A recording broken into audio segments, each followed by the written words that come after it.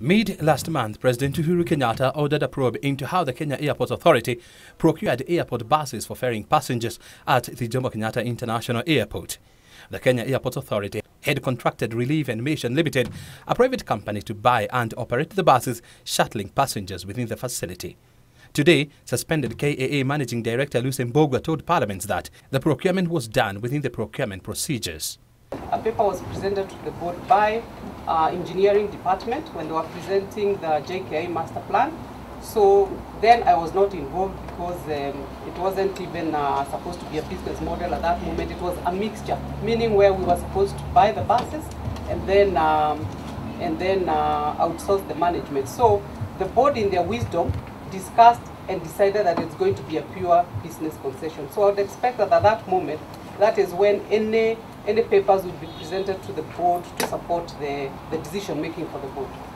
Mbugua says that the process of procuring the buses started in the year 2011 and was approved by the KAA board in the year 2012.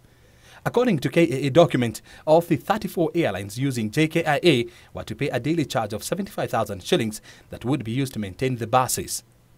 In terms of uh, outsourcing, it is the preferred mode for uh, airport models. Airports worldwide outsource all services. They just concentrate on the very core business.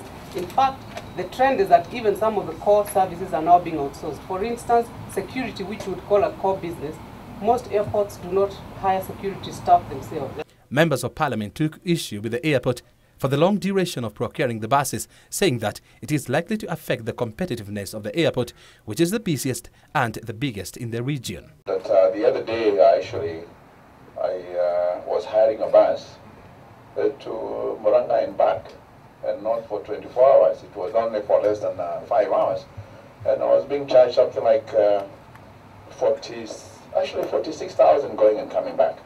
And when I looked at the figure of 74,000, I believe that uh, I would say it was a good negotiation. The managing director plus five others were suspended by the board to facilitate investigations into the matter. Mbugua maintains that the pay-per-use model is the widely used mode of transport in many airports due to its cost effectiveness.